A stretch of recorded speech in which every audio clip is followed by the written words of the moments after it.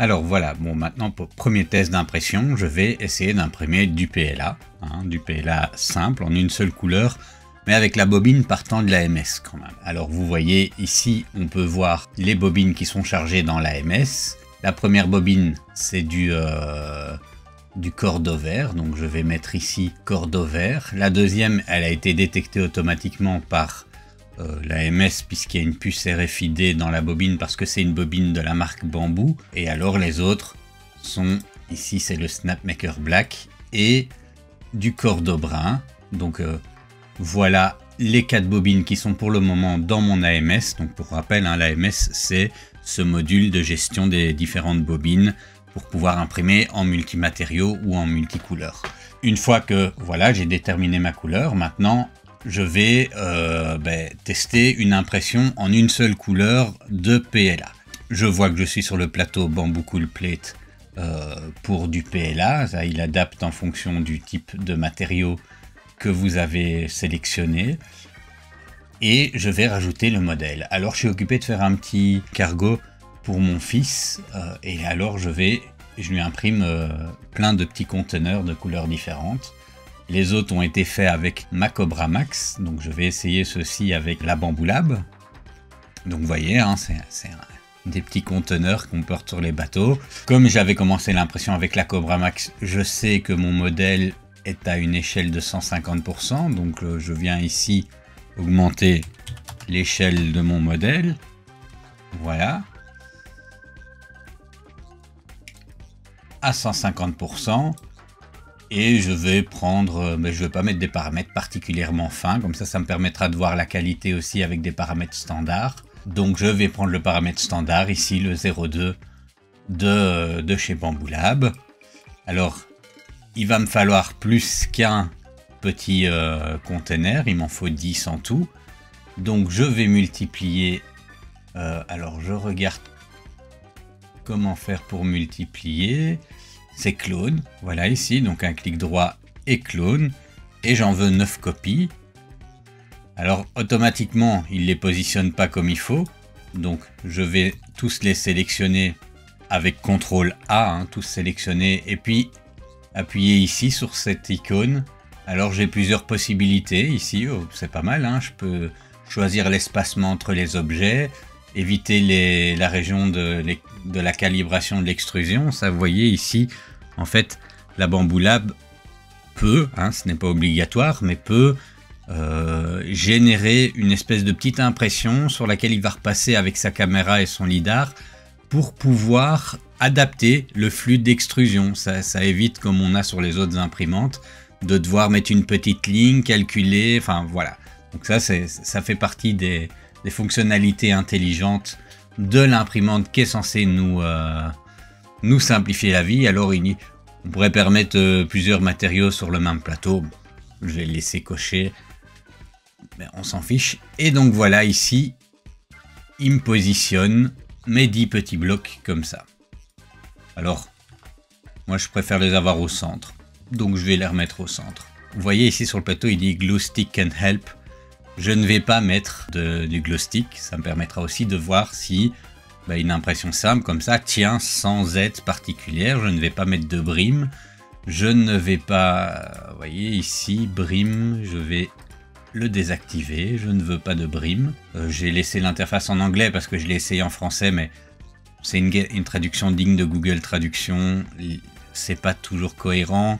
Il y a des problèmes de, de caractères dus à la programmation de l'interface, donc euh, bah, il y a des caractères qui s'affichent pas complètement, enfin voilà. Je vais rester en anglais. Si vous êtes absolument anglophobe, vous savez largement vous débrouiller avec l'interface en français, mais euh, voilà, moi je préfère, je préfère comme ça. Regardons vite fait les paramètres, donc une hauteur de couche de 0,2, je ne touche à rien. Euh, alors la couture ici, il propose une couture alignée, bon je vais pas me casser la tête par rapport à cet objet. Je vais laisser ça. Pas d'ironing. Donc ironing, c'est un procédé par lequel on repasse avec la buse un petit peu comme un fer à repasser pour lisser les parties euh, supérieures.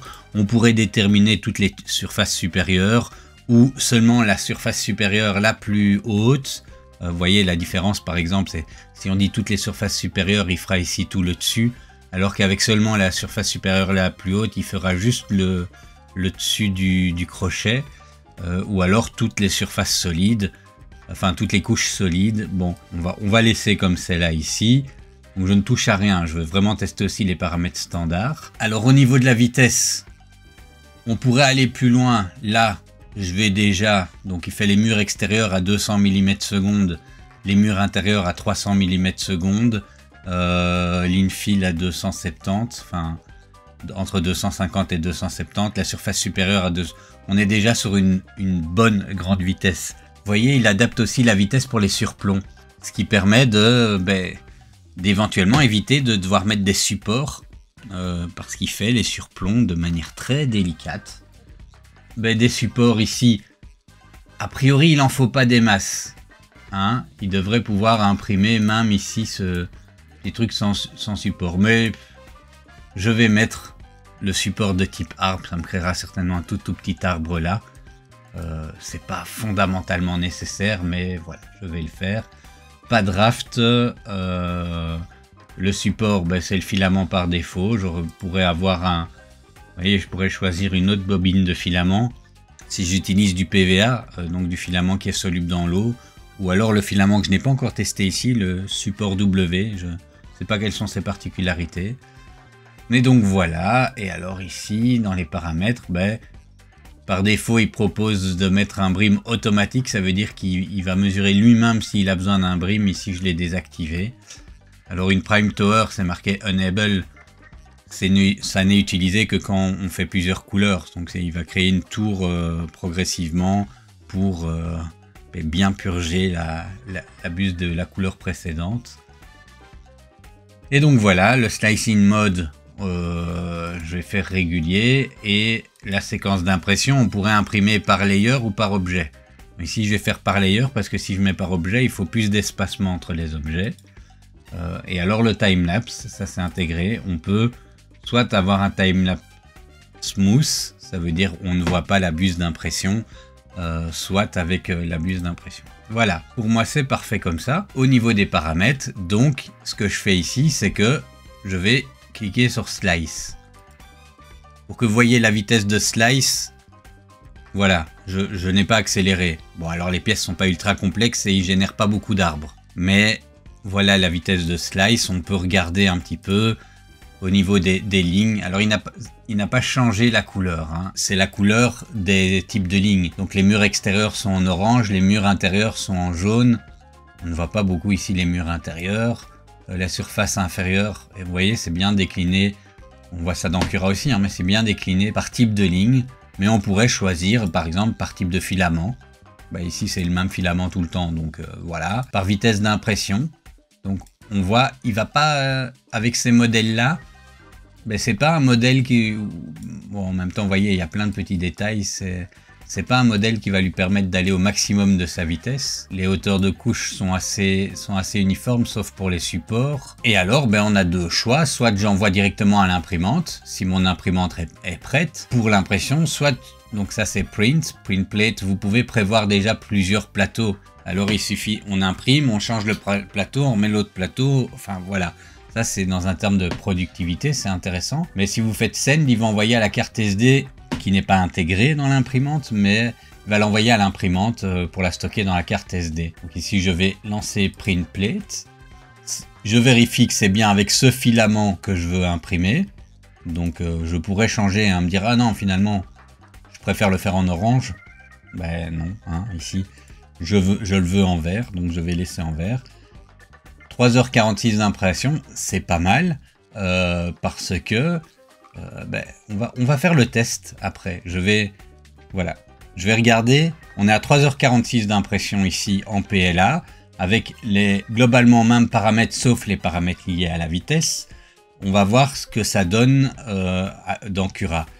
Juste ici, si vous regardez le temps, on voit qu'on a 7 minutes de temps de préparation. C'est si on veut faire toute sa calibration et autres. Ici, vous voyez, on peut désactiver, qu'il ne fasse pas le bed leveling à chaque fois, qu'il ne fasse pas euh, calibration du flux, qu'il n'utilise pas l'AMS. Ça, faut désactiver si vous avez directement votre bobine notamment dans le cas du TPU, il, déconseille d'activer l'AMS, et eh ben alors on décoche ça et on retire, on désactive l'AMS à l'arrière de la machine. Ici 3h46, 76 grammes de filament pour mes 10, euh, pour mes 10 petites choses. Je vais lui donner un nom pour que ce soit joli. On va mettre container vert, voilà. Et je l'envoie à l'imprimante. Ça a été envoyé, il va directement sur la page device et on a notre écran de contrôle. Alors, moi je trouve pas que la caméra embarquée de la Bamboo Lab est exceptionnelle. Et une des causes, et je vais regarder un peu plus tard, c'est que la lampe LED intégrée à la machine ben, n'est pas très puissante, elle est, fort, euh, fort dimée. Il y a un problème de luminosité pour euh, la prise parce que normalement la caméra est une 1080p, on devrait avoir une plus belle couleur que celle-là. Voilà dans Cura, hein, juste pour faire la comparaison sur les 3h46 d'impression qu'il proposait, je vais donc ici déjà l'agrandir à 150%, en ajouter 9 copies, et je vais essayer de mettre, donc on est dans la même hauteur de couche, avec le même infill, euh, les vitesses, je laisse mes vitesses d'impression euh, standard sur ma Cobra, moi j'imprime en général à 50 mm seconde, et je lui dis aussi de générer une structure d'arbre et je ne veux pas de brime. Voilà, donc on est à peu près sur les mêmes paramètres. Et combien est-ce qu'il me dit de temps? 11 h et 23 minutes. On a entre 3 et 4 fois plus de temps d'impression avec la Cobra Max qu'avec la Bamboo Lab pour, mais pour le même fichier.